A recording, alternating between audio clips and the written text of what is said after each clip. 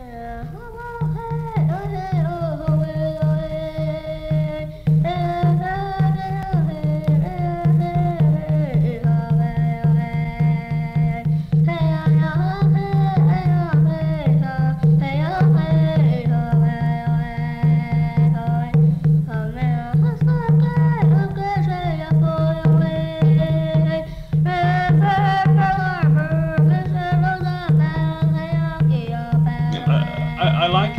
the idea of turning the last stand on its head.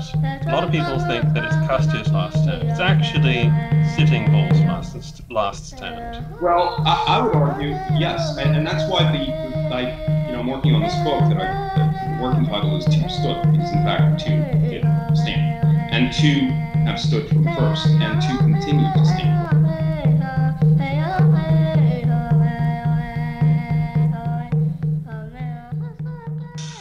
Right.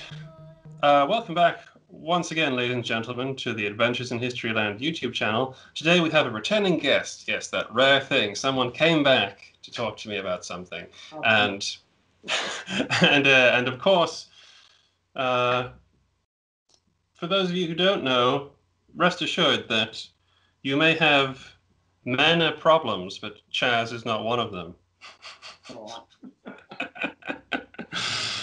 Certainly. Get off. a, the puns have started. Yes, Chaz Mena, that uh, from the episode for, about curiosity, um, is back with us, and today he's talking about a very history land sort of thing. And I'm saying this because I I dot around a lot of places. I am very unfocused in terms of my historical interests, and I love the fact that I first got in contact with you about Spanish and the American Revolution, and then you are this huge World War II enthusiast, and but what today we're talking about about, about Custer and the Little Bighorn. Chaz, great to talk to you again. We're all over the map, you and I. I mean, you you've just finished a wonderful series of podcasts with History Hack, whom I adore. I, I all of them. They're just wonderful. Mm-hmm. And and I really enjoyed your last pod on the British Army. yes, that was a lot of fun to do. Yeah. So, Chaz, first of all, maybe the first question is I mean, first, I, I'm going to make this clear. I'm very fascinated by this period of American history. I, I think that it's a, I mean, it's it's it's a very rich subject. It's deeply embedded in the the the story of the United States. You know, the, at a certain time, kids played cowboys and Indians, and at the heart of the legends of this is the legend of of George Armstrong Custer and the last stand of the Little Bighorn. Obviously, he has a much longer story going back into the Civil Wars and stuff. Civil War, Civil Wars. What are we in England now? Uh, the Civil War. oh, we just opened a huge can of worms. The American Revolution is a civil war. But we should we should talk about the terms that people use because that's an interesting um, topic in itself. You're talking about one side will call something a massacre and a slaughter, whereas the other side says, "Well, it's just a battle, guys. We won. Why is that a massacre?" Uh, whereas in fact, there are actual massacres where people, where like troops go in and, and kill ki- kill like whole civilian populations and vice versa and stuff like that. So there's a whole terminology discussion to be to be had. Um, the, Indians committed massacres. The Yeah. the Americans, uh, especially after after the Civil War, gentrified. mhm. right? Opened space up or mollified or brought peace to. All of these innocuous sounding phrases, uh, which you can argue uh, in some of the smaller unit actions uh, and actually some of the larger ones. It was the stuff of Einsatzgruppen, you know, Mhm. Uh, Yeah, yeah. genocide. Um, yeah, absolutely. So this is this is why when you when people talk about casually this period of of, of the Indian Wars, distinctions really need to be reaffirmed as to what is a battle and what is a massacre. And I am of the opinion that Dade's fight is a battle. You know, the Seminoles ambushed successfully a, a federal column, and the Battle of the Little Bighorn is a battle. was it called a massacre at the time. It's a battle. Come on, who are you kidding? Um, But so even, even today, if you go to the Laramie uh, reservations, if you go to um, Sioux reservations, um, you know, it's it's actually it's it's where we stood up. It's it's their yeah, what? It's their uh, Alamo. It's their uh, the, the, Alamo. I, it- it's their. I, Give me for the reference, but it's their Lexington and Concord and all well, the rest. yeah, exactly. I mean, You know, I, I like Yeah. uh, I, I like the idea of turning the last stand on its head because I liked what uh, what Joe Medicine Crow said about uh, Mhm. the Little Big One when he said that a lot of people think that it's Custer's last stand. It's actually Sitting Bull's last last stand. Well, I, I would argue yes, and, and that's why the, the I you know I'm working on this book that I that the working title is Two Stood because in fact two did stand, and two have stood from the first, and two continue to stand. Only recently we had the Black Hills fiasco, where where you had some MAGA types go out there and purposely uh, insult the, the you know the Black Hills is like Jerusalem Christians. you Yeah, know yeah. uh, to the. Uh, literally, it's it's their um, their mirth, their their birth myth, their their their um, their Valhalla. Certainly, you know the uh, their the names of their of their hallowed you know, uh, uh, figures and historical uh, examples for that culture are engraved into the stone. I mean, you know, it's it's it's the Wailing Wall in Jerusalem. You know, Mhm. but yeah, it was full of uh, alcohol drinking uh, a rather, shall we say, um, I don't want to get political, but but certainly you'd have to admit that these were people who were a bit too radical in their politics, yeah, and uh, and it was kind of like uh, well, it was there are love fests and then there are hate fests, and I'll leave it up to the audience to decide which one they were, but they had no business being there. They they actually were not granted permission by the tribal councils authority, but yet in they went because ultimate domain is the United States, and that is the exact same argument that the federal government made to the Sioux people, even though uh, in a in a in a war predating uh, the the Sioux uprising in the 1870s, there was a Red Stick War, and the Sioux actually defeated the American army. Red And- Cloud's War. Yeah. one of the things granted to them were the Black Hills, recognized by both parties as sacrosanct, and uh, a, a, a huge, huge swathe of land called the Sioux Reservation. And just to give listeners an idea, uh, we're talking about over 250,000 square miles, all right, which is equivalent to England, Wales, and almost all of Scotland put together. So the Mhm. British, basically, uh, just below, could fit in this reservation. Uh, It's huge. It's mammoth. And um, but there you are, ultimate domain. Uh, gold was found uh, in along the creeks, uh, the small kind of rippling creeks along the Black uh, Black Hills, and it indented in some of the rock and some of the soil. It found nuggets. And it's and, you know in an economy that was suffering the, the, the Great Depression before the 1930s was the depression of the 1870s. You know where you had very little money. It was a a, a gold standard, you know, backed currency. There wasn't enough gold bought by the federal government. What was there was was was sold. You know during the Civil War. You know in order to pay for the Civil War. You had uh, mass unemployment. You had the Great Wall Street Scare. Uh, if there were, I believe, four out of five Americans were unemployed or were partially employed at that time. You know, we're talking about a, a population of about, by then, by the 1870s, about 25 million, nigh on. So you, you- this is a crisis, you know, and you've just Yeah. fought a war. You really can't have a social uprising. And you have a lot of immigrants from the 1840s from Central Europe who have begun to understand what Marxism is. There's, there's, there's that beginning idea of, of, of class warfare, warfare, excuse me, which doesn't bear fruit uh, in the United States as it does in Europe, but it certainly it's it's beginning to show its head in people, Mhm. newspapers in in Chicago and uh, workers' newspapers, in Chicago and New York, in places like St. Louis, which is you know on the margin of the frontier. are, are beginning to be read.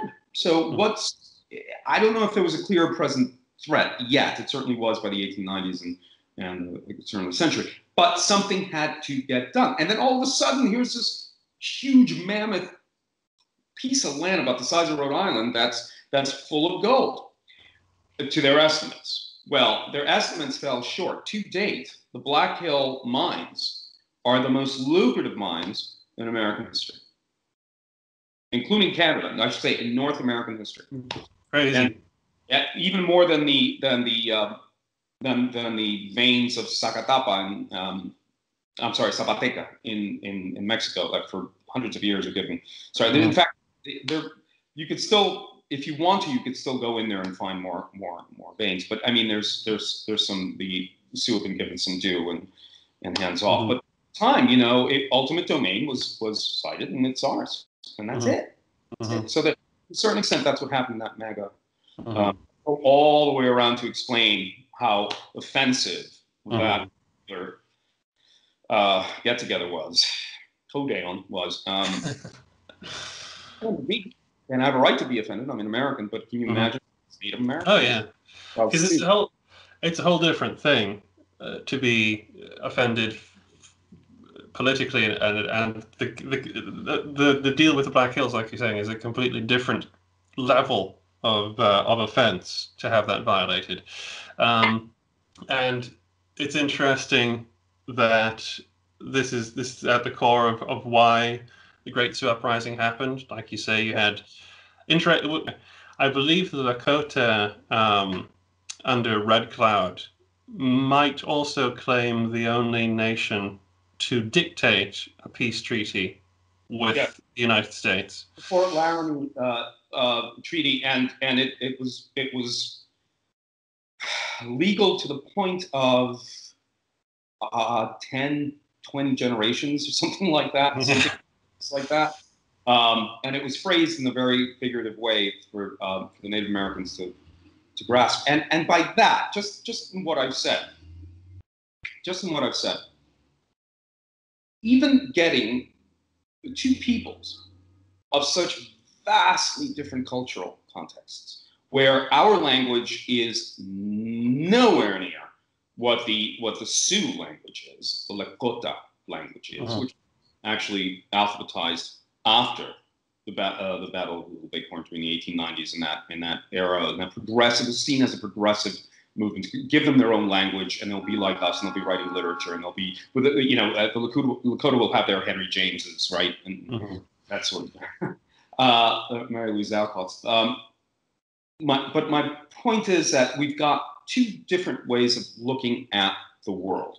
One is purely materialistic, especially in you know in the West at that time, which was teleological, progressive. Uh, the way to the way to exploit the land is to cut it down, break it down, use it for fuel, use it for uh, caloric intake, uh, secure more caloric intake by fertilizing the land, cutting, you know, uh, uh, arab, making arable land, burning forests for fertilizer, killing the buffalo so the railroads can come in with the foodstuffs that we need so that they could take out what we what we harvest. That sort of thing is consumptive materials.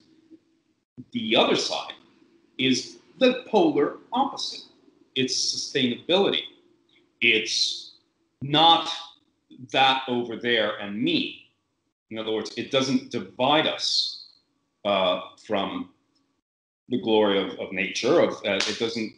It, it says that it, it it's it's not it doesn't it's not subjective, is it? It's No. it's it's uniform. I am part of this. What grows out of this land is in my body, quite literally, because I've drank from this this stream and I've um, I've eaten on the soil and I walk on the soil and and my grandfather's buried there and he's part of what grows. I mean, it's it's it Mhm. was um, sustainability versus a consumptive Mhm. society.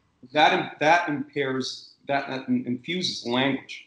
You know, the English sentence even is one does something to something else, noun-verbal object. That didn't exist in the in the in the Indian sentence, if you would. It's it's a series of subject, subject, subject, subject, subject, and then this happened. So it's Mhm. even forensically. So uh, and you can look at their calendars. They didn't have calendars; they had glyphs, Mhm. round and round and round, and every year was recorded by one main event, and it could be something as as mundane as the day uh, Red Cloud bought his cow. You Yeah. know? Yeah.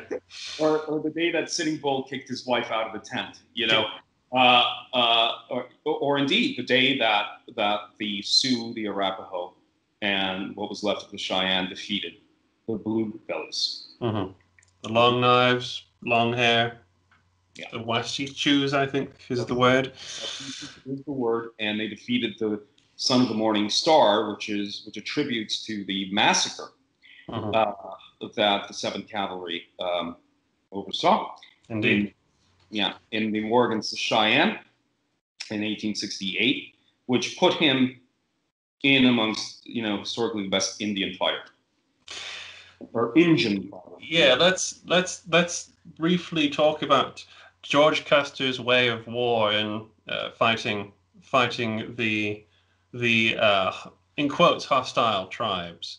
Um, my take on it is that uh, it, it starts at uh, Washita, and he.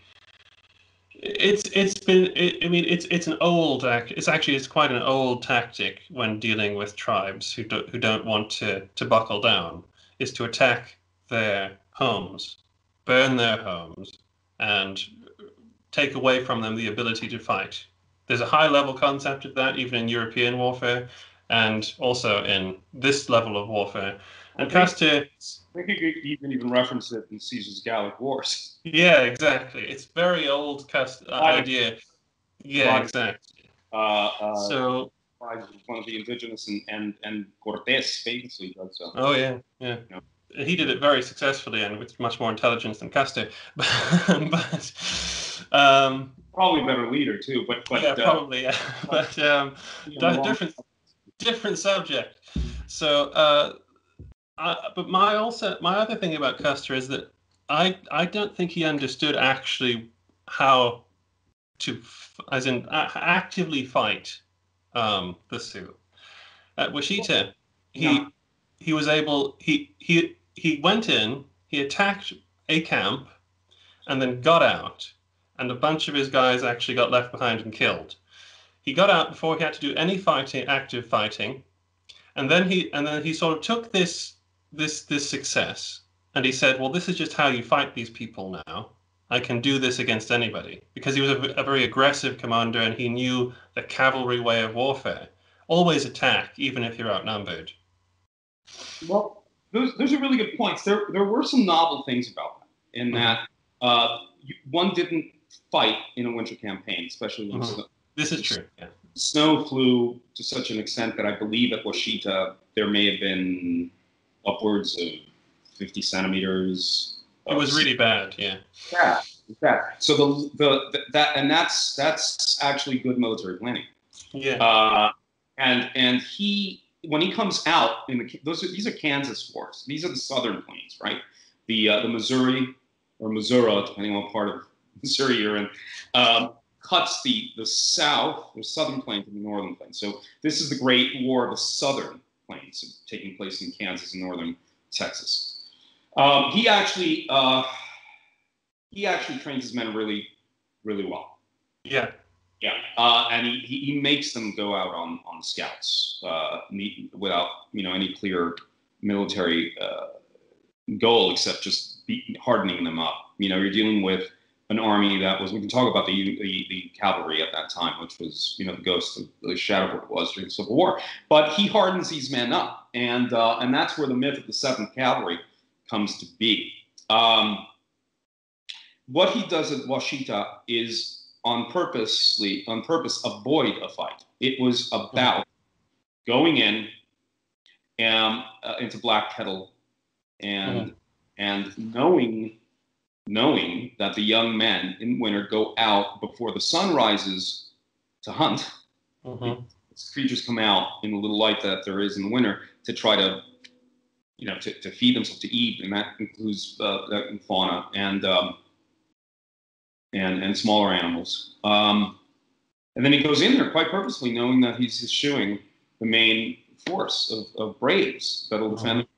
And what's his purpose? His purpose is to claim their, their women and children, Mhm. force the men to put down their arms. Mhm. And that was a viable way that had worked Yeah. uh, in certain places. So, I mean, there is a precedent with him. oh yes, definitely. Right. What he did not count upon is what happens later on, which was not only uh, a, tac- a new tactics introduced by uh, Crazy Horse and the other uh, some other in the Conju, um, Yeah. uh, generals or, or chiefs, and the fact that ten years later he was going to be in the middle of a people's war. Mhm.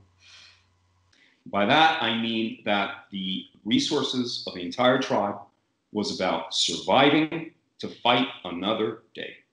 That by 1870, and that's what he means in the Battle of the Little Bighorn, and those, well, those those those thrusts. Uh, uh, they're really they're really copying Confederate cavalry tax, tactics, as you know. You're a big Civil War reader. You know, go go really deep. Do- Doesn't matter how many forces you're going against. You just pierce right through and envelop, and they'll run away. I mean, that, that's what they're counting on. So, And this is his this is Custer's thing. He understands that psychology that if I attack aggressively, I But have the initiative. he borrows from Jeb Stuart, though, doesn't he? Oh, Because he, Yeah, peeks and goes deep. yeah. And it's and nobody can hit a moving target, right? It's that idea of Mhm. But what you had was a core of cavalry that was actually quite good. So, but the idea is, oh, it's very simple. These children tend to run away, so so let's create a pocket where they could run into us, right? So you've got three uh, columns coming in from the northeast. You from Fort Lincoln, you get uh, Terry and Custer, the Terry and Custer force, right? And from the northwest, you get the Gibbon force, which was infantry, right? and and the the much larger force coming from the south by southwest was Crooks, which was infantry and cavalry, uh, infantry supporting or cavalry supporting infantry, Mhm. and they're soundly defeated at the Rosebud River. Mhm. Uh, and at the head of that, the main uh, effort was generalized, to use that term, by Crazy Horse. Mhm. Crazy Horse survives that the wars in Cheyenne. Even though he's he's a lawless Sioux, he survives uh, um, those those wars, and he he becomes adept. He learns how to fight the Union cavalry, um, and he uses that sense of mobility. He uses the idea of keeping a reserve force ready, so you, you fight them to a stop, and then you throw in another wave. These are European ideas, you know uh, uh, uh, uh, concerted uh, fire support. You know, one side, then the other, sometimes in tandem. You, begin to to see, and, and let's be frank. I mean, it's it's not it's not British Army. you know, I mean, you do- you don't have that same concerted effort or or um, or ability to stay on on on the field as long as say Mhm. but they don't want to Mhm. want to. They're they're they're tied to their idea of mobility. Keep them moving. We're not going to Yeah. move. We're we're going to make you move. You're going to keep. I'm going to keep you moving. And then I'm, I'm going to like like we do with Buffalo. You know, it's it's it's a great reaction to what the Union was expecting them to do. Mhm. Um, and Crook is so demoralized that he just walks away from the campaigns and nothing. Yeah. This is no. None of this. Goes back to Fort Fetterman to the south. You know, course you don't.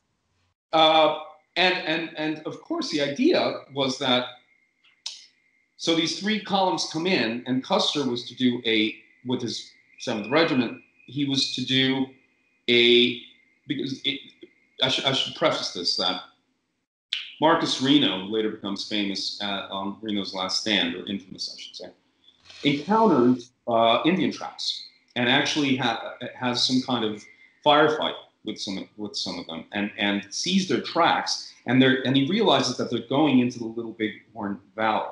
Now, what would you see in the track? You would see a travois, which was like, uh, you know, it was a triangle three three pronged carriage, scraping trails and it, no wheels. It was just like it was tree logs put together, creating a an isosceles triangle, and you just throw weight on top of it, you drag. Um, so the, the tracks, the horses' hoofs, the travois, uh, look to be, you know, like a, a, a, large force. So he comes back rather than attack them. He knew that there were half a day's uh, ride away, but he comes back to inform Terry, mm-hmm. mm-hmm. command the Custer force. Custer thinks that he's a coward. Just how not attack them. Again, he's stuck in that mentality of, of, of attack and and adjust, attack and adjust, attack and adjust, so we can all go home quicker. I mean, it's it's very interesting, and to, and even in the paper, he calls he all but calls him coward. So then uh, Terry sends the Seventh Regiment south in a in a in a wide arc move. Well, mm-hmm. I guess, to make contact with Crook's column that is supposedly at the Rosebud. But it is not at the Rosebud. you know, uh, and it, after a, after a, a grueling march, uh, the, the, on the eve of a battle, when people are beginning to bunk down and eat their their their, their dried beef and and mm-hmm. what have you. Yeah, yeah. Um, he orders a march he orders a march. He orders a march across and into the valley to, to follow those tracks. Now, mm-hmm. what he saw were tracks of maybe equivalent to maybe 2,000. What he didn't know that by then thousands of others had congregated on the valley to mm-hmm. on, live as they do in the summer, and that's his big surprise. You know? um, because after after Rosebud, what happens is that the confederation of tribes that have gathered together to fight there, but they basically it was actually, said it actually before. Yeah, indeed, yeah, absolutely. Um, uh, it was said that the camp that they were working from to go to a fight at the Rosebud, there were almost more horses than people, and there was no grazing left, basically. So they had to move and it was known that there were herds of antelope and stuff up in the what they called the greasy grass, which is the river. It's still called the Battle of Greasy Grass from the Yeah.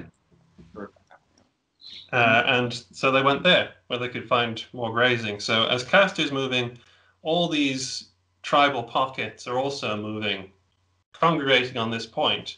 And it's also Sitting Bull's kind of rhetoric at work here. He's saying, I'm going to have a council here. I want people to come in. I want to tell. I want to hear whether you're going to stand and fight with me for the old ways, or whether you're just going to go and be a, a reservation Indian. Right. We haven't spoken about Sitting Bull. He by then he is he's no longer a mil. Of course, he out generals for lack of a better word. He's he's no longer a military figure. He's a mm-hmm. spiritual mm-hmm. head, and he's had a um, a, a, um, a Sioux ritual called the the sun dance which is where there's self mortification involved. You spend three days without food and drink, and you get visions, and those visions are interpreted. And what he interpreted was that in the middle of Sundance, when he's about to pass out, indeed he does, he gets an image of thousands of blue jacketed uh, soldiers are falling from the mm-hmm. sky and dying on the on the valley floor, dismembered. Mm-hmm. Um, and that's his vision that whomever attacks us will, will receive that fate. The Battle of the Rosebud happens, and they and that was that predated the I think it was a week before Rosebud, so it would be when what would it be the end of May, beginning of June. So actually, the first week of June. So um, people are saying, ah, the, the vision came true, but he kept saying, no, no, no, I, I didn't see them falling I saw them falling where we are right now because I, I, I was he, you know, I saw them falling in this valley. Uh-huh. Um, Custer comes in the middle of their of their uh, fetes of their of their their dancing for their victory dances and their victory celebrations. You know, uh-huh. um, because he has no idea. Hmm. It's a um, surprise for both sides. I mean, to give him credit, the the, the Cheyenne, the Lakota, Oglala, Papa, you know, all of these people, they they weren't expecting him to suddenly come and attack right. them. Right. Right. The Lakota, and, and they had a cosmopolitanism because the, the Lakota means people of the plains. All of these it become a place of exile for Cheyennes. from the erstwhile wars of the late Mhm. 1860s come to live with them. Famously Crazy Horse, right? Arapaho come. Um, and that becomes a cosmopolitanism where the Lakota language is becomes the, the lingua franca. And they're they're fully accepted. The Sioux fully accepted refugees from the Cheyenne. Yeah. Uh, and but that that's important to state because that that cosmo, for lack of a better word, cosmopolitanism, that that well humane vision of what it was to be Sioux is is important because the Sioux were highly tribal. The Sioux originated from the southern banks of, of Lake Michigan. They were pushed out, right, uh, by other warring Indians that came over from the from from Andrew Jackson's policy of repopulation. You had the Cherokees coming from very highly specialized warring tribes, and the Sioux develop a whole new economy. At the same time, they're in the Great Plains, and all of these Spanish horses from Mexico are there. They learn how to horse. They they they they, they new images, new new myths. White buffalo women come into being, where where where in, it, just when they're dying because they can't collect food, they don't know where they are, what they can do. White buffalo woman shows up and tells them the way to live with by the buffalo. Mhm. To ride a horse become very adept, and importantly, they they they they push out the other Indian tribes Mhm. and and those Indian tribes later become um, specifically the Crow. Uh, Yes. become, the Crow. Very- become Very important there, the crow. the ones. They're the leading scouts. They're the eyes of the Union for I call Union, but federal forces. Uh, and it is the Crow Scouts who say, "We have been fighting these people. You are underestimating them." Mhm. They're capable of having camps as as um, with teepees You can't count them. with teepees like a forest. Mhm. There are more people here.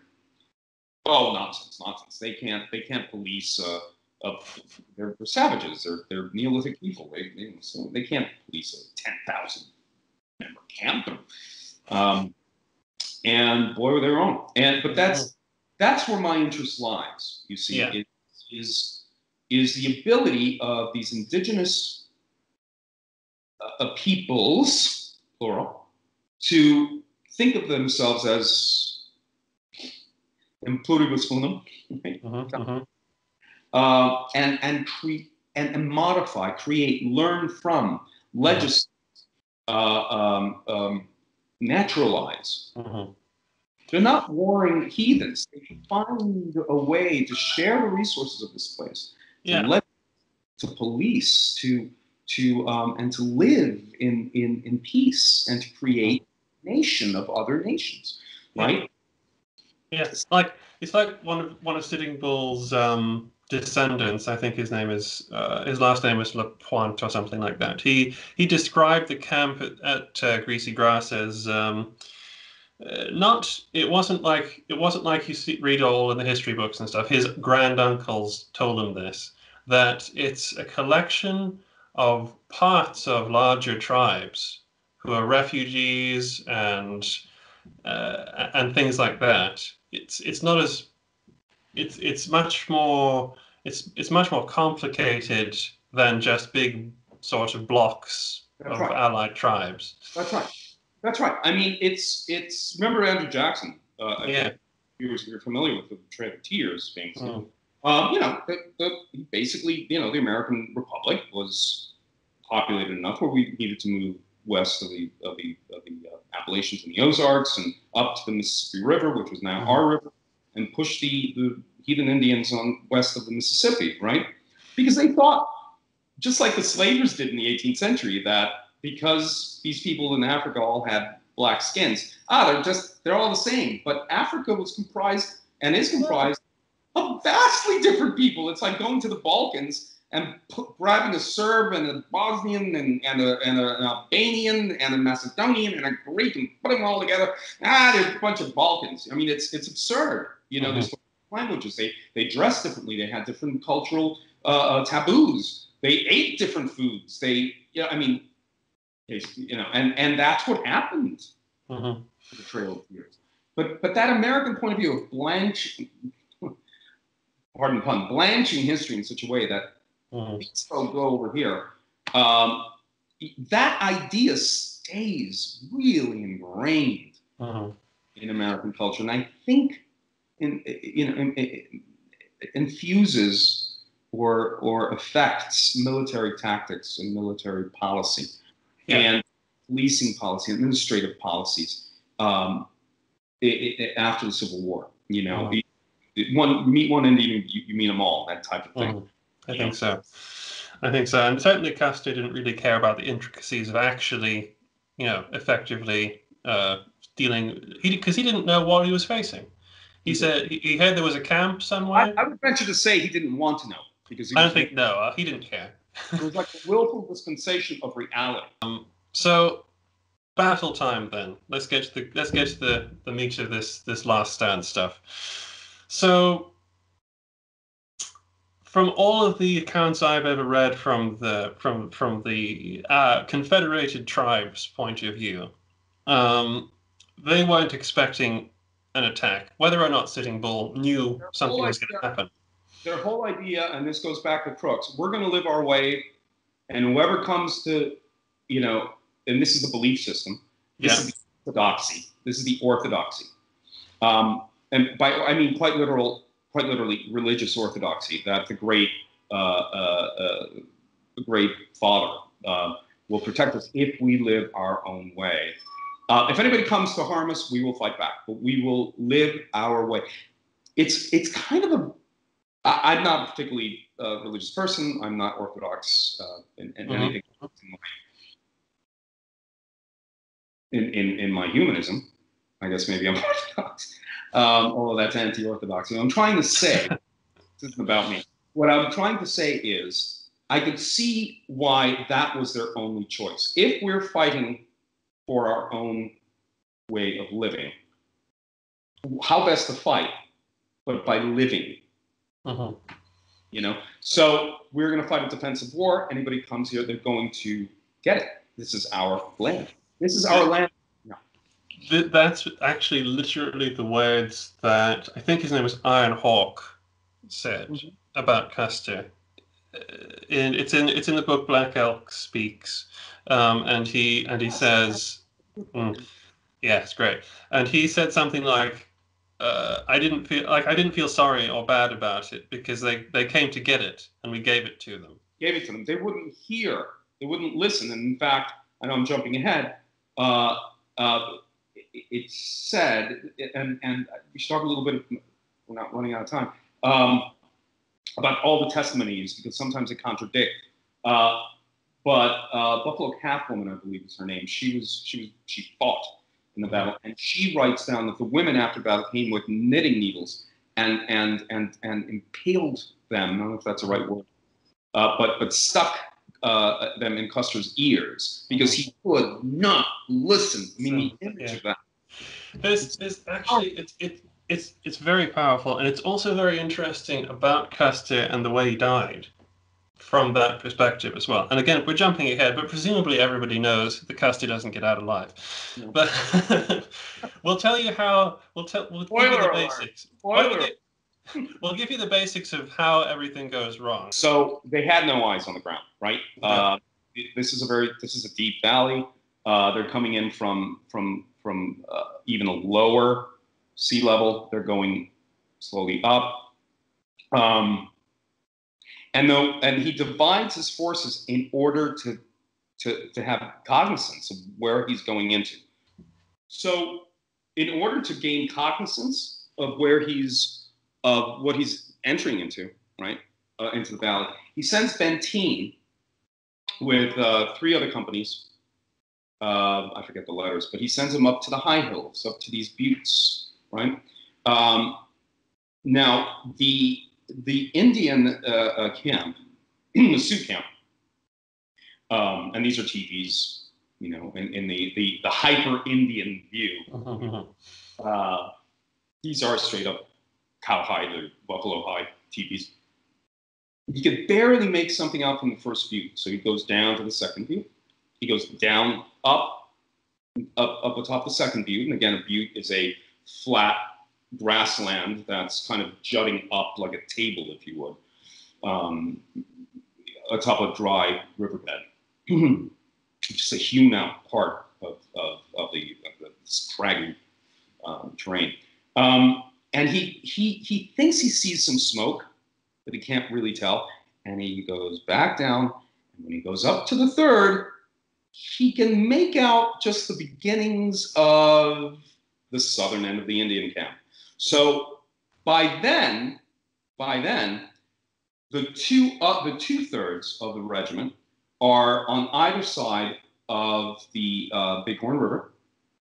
I'm sorry, the Little Bighorn River, and Marcus Reno is on the uh, Major Marcus Reno is on the western bank, and up on the eastern bank, slightly higher, is Custer with his four companies. Right, so you've got three and three is six, four left. Remember, there were ten companies.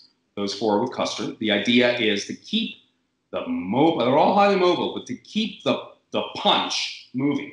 Uh-huh. So the idea was, just as you described earlier, was to uh, first of all Benteen to send words to let us know how many are there, then join Reno as a reserve. Reno was to attack these three companies. By then, he was counting on Benteen coming down, acting as a reserve force, and he would go up and envelop what he thought was maybe a quarter-sized Indian village of what it actually was.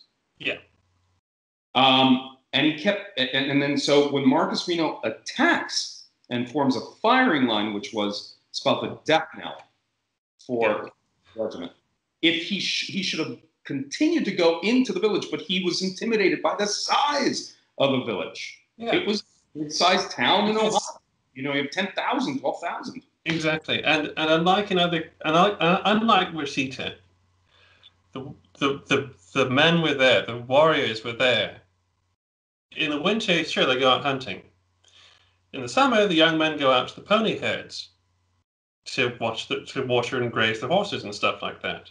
And all of the young men remember who, when they were telling their stories later on, I was sent out to watch the pony herd, and then we went and had splashed around in the river all, all the boys when they're old men in the 20s and 30s, yeah. same, yeah. Yeah, mm-hmm. and Custer just underestimated the response, the the far, the the speed of the response.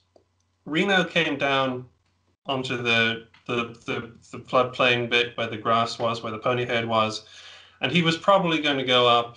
He probably would have continued into the camp. Yes, he would. But well, that was then, yeah, to. You know? Then, then like a, a wasp's nest, you know, fighters emerge, leap on their horses. They're putting all sorts of decorations on their hair as the attack is happening. Indeed. But he thought he was buying time because he got intimidated yeah. on the side. He wasn't expecting. So it's a combination of both things. By then, he figured after an hour of or yeah. I mean, from this. You know. It's it's it's kind of good military doctrine from the point of view of the 19th of his of his mind. Okay, cavalry doctrine actually you do dismount and form a firing line. It's actually what they're trained to do. Yeah, no, I know they are, but they and, use five, and then one guy, one one soldier yeah. pulls the other four, and then the four yeah. just become. So when when he hits opposition, he thinks because he's not Custer and he doesn't think charge. He thinks okay, I'll stop and fire. We have better weapons. We can fire. We can keep these guys at bay, like you say. Resist. Uh, it's too big to attack, so I'll just stand out here and and do that. Well, that's what he. That's how he defends himself, and yeah. I that may be one of the reasons why he becomes about top. Uh, but what he does later when they retired, and I'm jumping the gun. What he does later in the battle is just he was also uh, by all by all uh, surviving accounts he was drunk Possibly so, yeah. Uh, I could I could mention three or four presidents off the top of my head that saw him taking nips, and yeah. so by the time that firing line is overwhelmed and about to be flanked, what does yeah. he do? He retires his little copse. Yeah. yeah. But I mean, think about that. The, the, he saw the high ground, which later becomes Reno Hill. So rather than go up to the high hill, which was about a uh, quarter of a mile away, he goes into this wooden copse yeah. of elm trees and a box elm, like a child does. When yeah. if God forbid breaks into your house, you, you, put the blanket over your head. I mean, Yeah. that's it's tantamount to that. He, he plays the situation. You're going to be Yeah. surrounded, be smoked out. You're going to be Yeah. mad. When he He, gets he, dead. he, he handles the situation terribly, is what he does. I mean, to retreat in the face of, of mounted warriors, just awful. half of them were mounted, half of them were on foot because the, Yeah. the children, the boys, were coming in with ponies for them to Yeah. ride. So This- this he great- time. He had Yeah. time. Had he acted to go across the, the stream bed at that moment, which Yeah. is not as shallower than you Yeah. know north, he could have reached what is now Reno Hill. Yeah. Uh, that has a gradient, a small. It's got one of the highest gradients. I think it's 27 degrees or something like that. Custer's last uh, stand and Keogh's last stand is only about 15, 20. yeah. So it's a shallow hill, but you know, uh, and it's more defensible. So you actually, and it's only a quarter of a mile. I, I mean, Josh, it, I know 2020 is hindsight, but if you can choose between a small copse of wood Yeah. and a high ground, and you're about to be enveloped, Go Does to it- the high ground. and you're and you're mounted, does it, right? So Yeah. it's uh, it's inexcusable. And uh, Yeah. I'm a soldier, but even even a, a It's it's literary man like me would know that you know you I know up to, It- up to he, he really does handle it really badly, and he gets cut to pieces for his trouble. Um, there's great, like you say, it's, it's, it's there's great accounts from the Sioux side of just the rush of warriors trying to get out to fight, and the bravest ones are up out already and and showing off and stuff and toying with the skirmish line. So he has tons of time. Crazy Horse even does some pre-battle like ceremonies before he mounts up and rushes on. And this moment where um, they find when when they know Crazy Horse is coming, a big shout comes up: "Crazy Horse is coming! Crazy Horse is coming! Kahay!" And everybody goes, done your reading. "Oh yeah, Now, meanwhile, as that's going down, Reno is contained." right, as that that is going down, um, he's expecting Benteen to come. Um, he's expecting Benteen to come and um, uh, join him right on the firing line, or, or maybe he felt like Benteen would come and and and save him from the. I just can't get over the idea why he went to those woods. Right? So um, the the people leaving the copse uh, uh, of, of woods uh, just north of what will become Reno Hill. Um, they still have a, a stream, and in some places it's, it's wide, shallow but wide at that point to cross. You know, and and it's at the bottom of this gully. So you've got 250 uh, cavalry, dismounted cavalrymen, some are mounted, um, rushing up onto those hills. Some of their sh- so, uh, horses are shot from under them. And what happens is that a very, very brave cadre of, um, of soldiers put in, uh, uh, uh, essentially create a, a, um, a fighting retreat.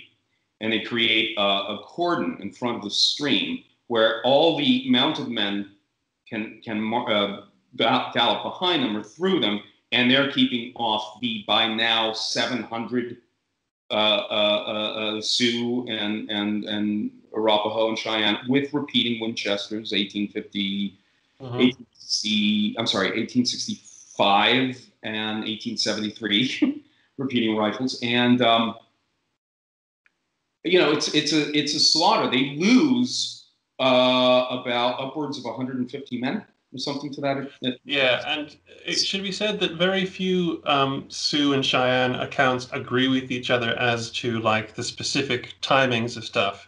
Mhm. But if you read them, they are like visceral in terms of the descriptions of the battle. They've got Well, a they don't guy. have- they don't pay attention to chronology. They, No. they by they I don't mean you know Native Americans. yeah. I mean, testimonies uh, uh, are linked to images. They Yeah. they don't count.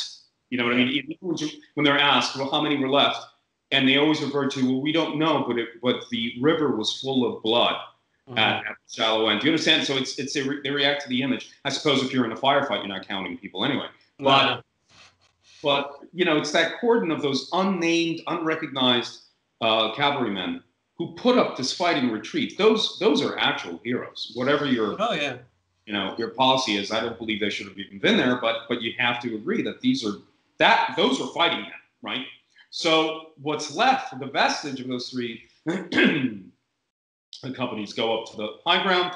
Uh, Benteen uh, is witnessing the fight from atop the first butte, but he doesn't come down.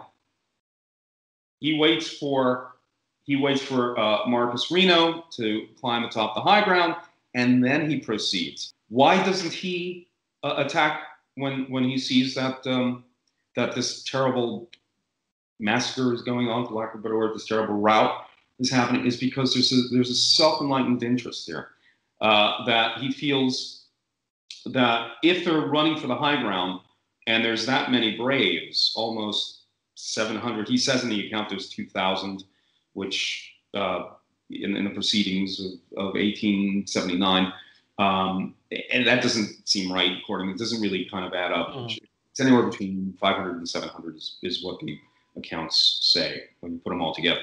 Um, and then he waits until the, the whatever you know could get up to the hill does so. When the Indians, when the sorry, when the Sioux retreat to join the other forces that by now are amassing against Keogh and Custer, those two hills, that's when he goes down into the gully and he quickly climbs up. And all of a sudden, now Marco Reno is, you know, half company size or company size is now buttressed by three more companies. And you got to remember that there's there's another there's the pack train coming with one company.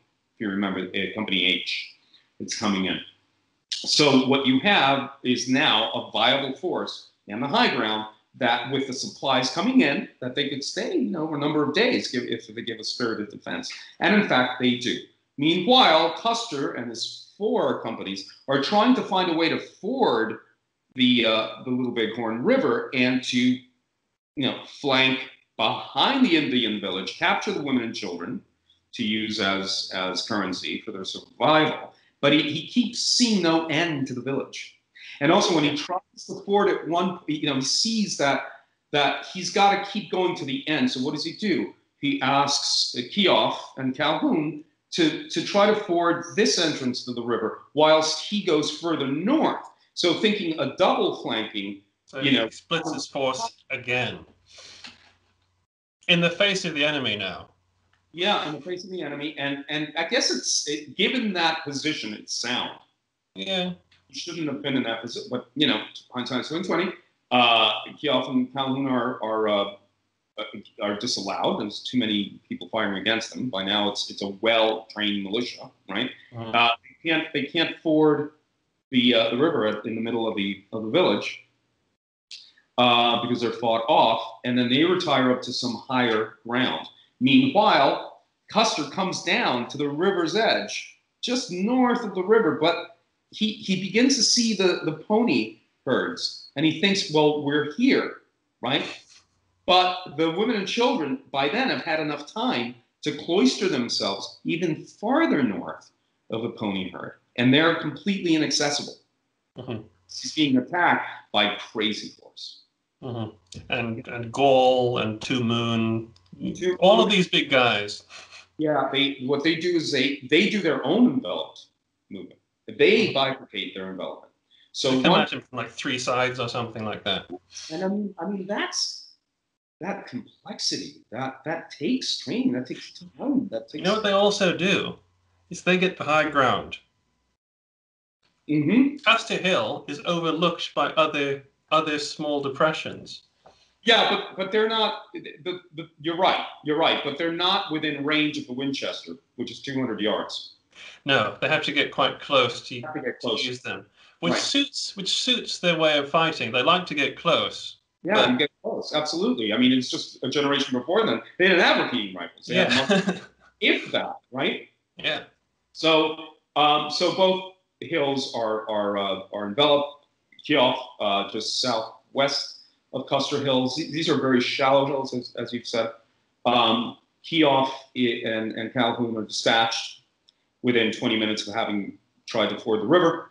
Uh, Custer's uh, uh, fight is just, it's almost, it seems almost perfunctory. It's, it's done.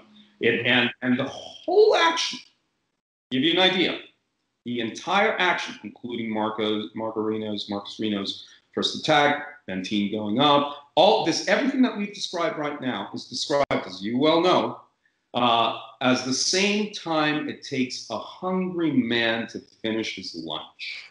Yeah. I, I've, I've read another one that a, a boy came up to give his horse, a, warrior, a young warrior came up, he had three horses, and he reached the, the bit where Reno had, had initiated the fight. And he had got himself ready and he had brought his horses forward to mount up and fight. And he said, I'm, I'm ready to fight. And this other guy said, Well, it's over. it's over, yes. It's By the time he was ready, it was over. What would that be? Like, it just over, well, we don't know. We'll never know because the, we, but there is some estimates, and I, I have a study. There's one, there's actually a really good study on YouTube. Um, that it's about an hour and a half. Yeah. Close to 90 minutes. Now, there, um, there are many different. There's a there's a wonderful uh, book called Who Killed Custer.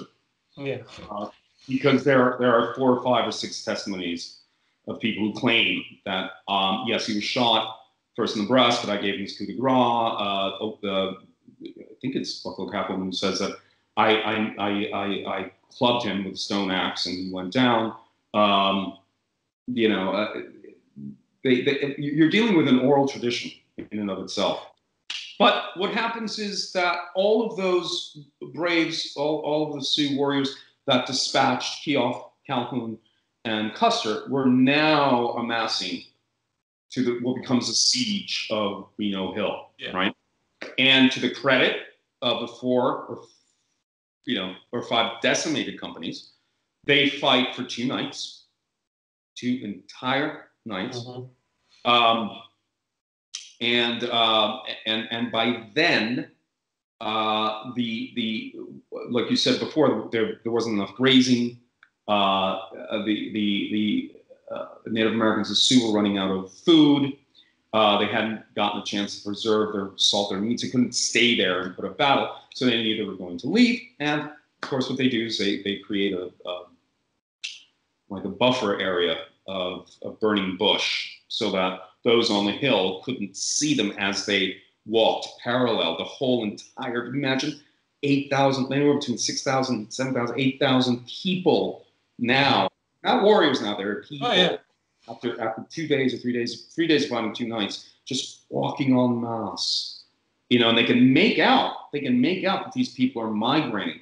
But what a lesson, mm-hmm. what a lesson to see all of those who congregated as a people walking past them. You know, like the people um, in, in the in the Sinai Desert. I mean, we're talking Old Testament here. You know, we're yeah. talking the beginnings of nations, the survival of nations, the children in the Sinai. I mean, all of those thoughts must have come into their hands, you know, into, into their hands, into yeah. their, eyes, their, their, to their eyes and into their brains and into their cultural tradition. And they mm-hmm. must question, what the hell are we doing here? Especially the immigrants who didn't yeah. walk it. They were too fresh off the boat to buy into the manifest destiny idea. You know, they didn't have that, that cultural meme in their bones yet. Uh-huh.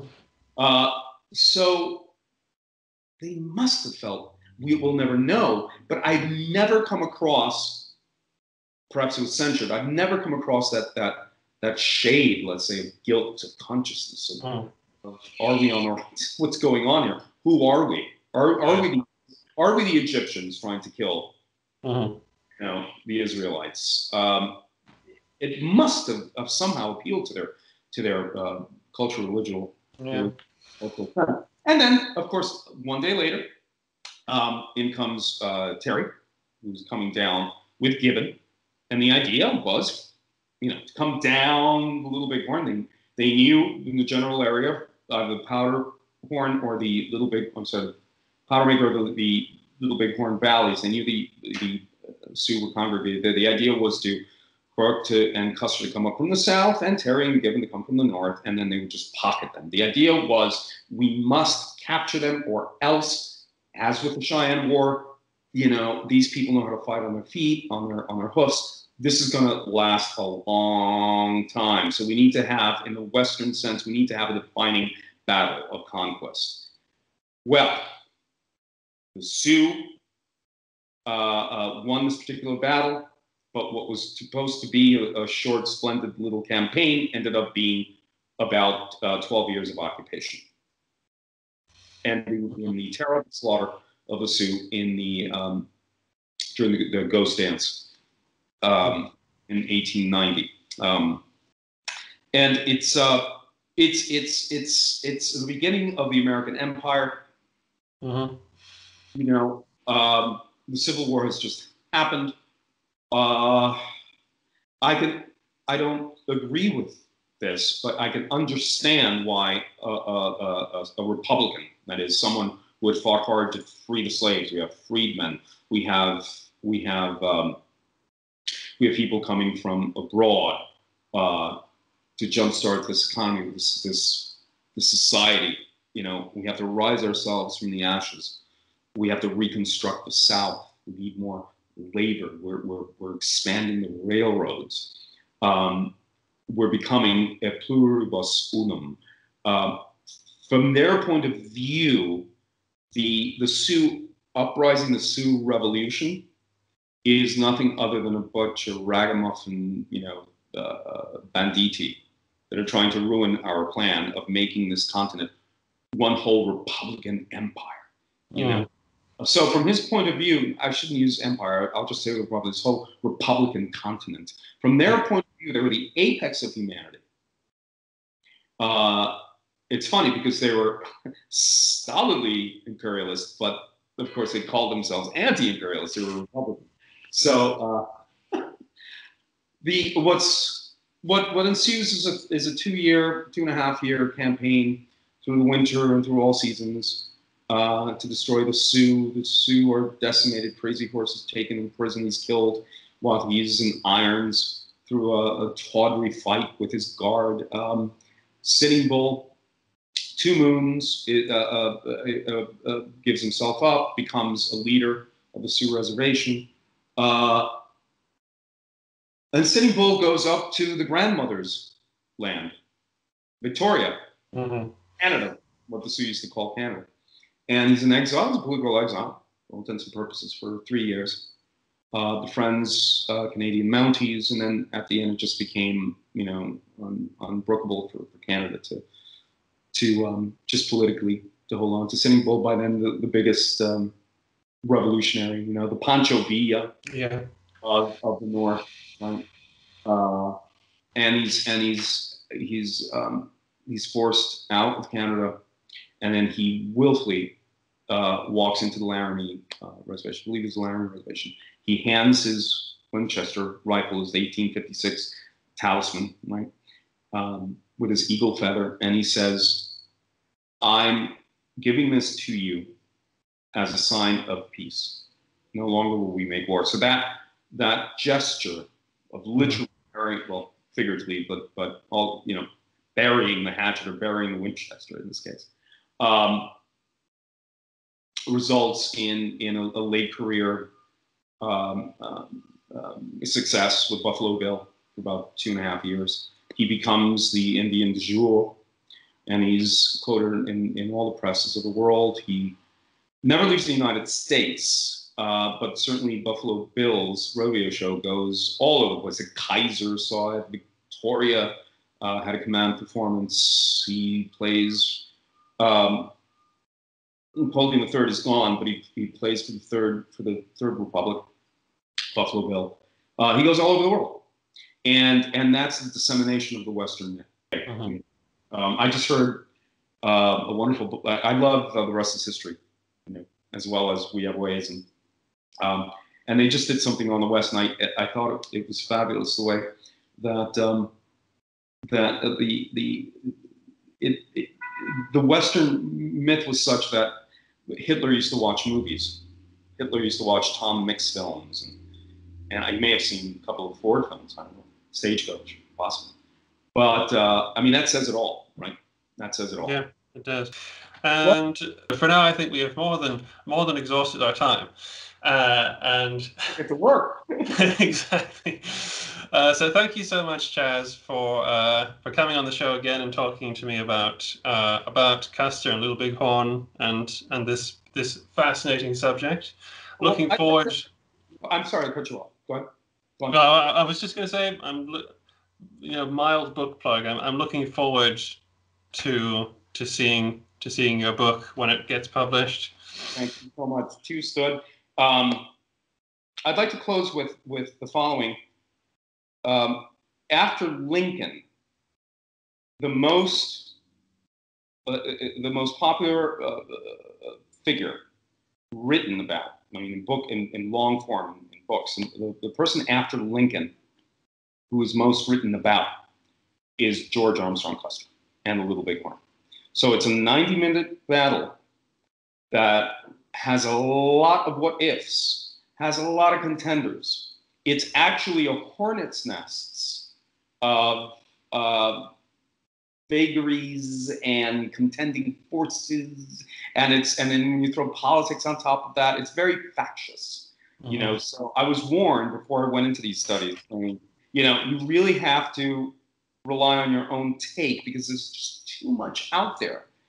It's a mythologized battle that needs to be um, revisited by people, and I hope someday put to rest. But I, I doubt it. I doubt it. Um, you know, um, especially given the, the lack of historical uh, academic tradition in American um, education. It's it's always going to be unfortunate. It's going to always going to be a reliable and opportune figure to be used by uh, more darker forces. My view. hmm Yeah, and so with with that with that thought that ninety minutes of uh, brutal death can longer than the battle. exactly people. If you have reached the end of this uh, talk, the battle is over, right? Reno and Benteen, it's their show now, up on the hill. Oh, oh, oh. Uh, who died with Custer? 29 Irishmen. 15 Englishmen and Scot and, and, and Scotch. We don't know if they were, we don't know the exact, because, you know, it, it was, Mhm. you see them and they all had the same passport. But, but um, uh, 15 Britishers, right, uh, died along with Custer. Two Spanish, and here's my big discovery. One of the two Spaniards that fought with Custer and died, one of them, one was born in Iberia, in Spain, uh, and came to Cuba, and then from Cuba immigrated to the United States, Havana being a port of call and in the Spanish Empire at that time. One of them was born in Cuba, in Havana. So of course he had a Spanish passport, and, and because he Cuba was part of the Spanish Empire, decrepit empire at the time. So I have never come across this uh, in, in my studies. I'm sure it's got to be somewhere. But along with Custer, one Cuban man was present and died. so I'm, I'm, I'm a first generation American. My parents were Cuban. So if my dad were alive, he'd, he'd pat me on the back of my head and, and say, you're, you're embarrassing us by saying that the Cuban fought with Custer. But there you are. And now, and now, many years later, the descendants of uh, of a Cuban immigrant is writing about it. Listen, I, I, I thank you so much for, for this time. Hey, You're wonderful, and what you do is terrific, and and and you're you're uh, uh, an upcoming talent, and I look forward to reading all the books that you're writing. You're um, you you're the stuff, man. Look forward Uh, to it. Thank, you so much, and uh, same back to you. I really uh, enjoy everything that you you put online, and um, re- I'm legitimately looking forward to to this book. So, ladies and gentlemen, pertinent um, links will be found below. Um, thank you to Chaz. Thank you to all of you for watching. Um, as as usual, I'm just going to wrap up by encouraging you all to have courage and have compassion. Godspeed. Go do what you have to do. Uh, and uh, thanks once more to Chaz Mena. Chaz Mena, everybody. Yeah. Thanks, guys. Cheers.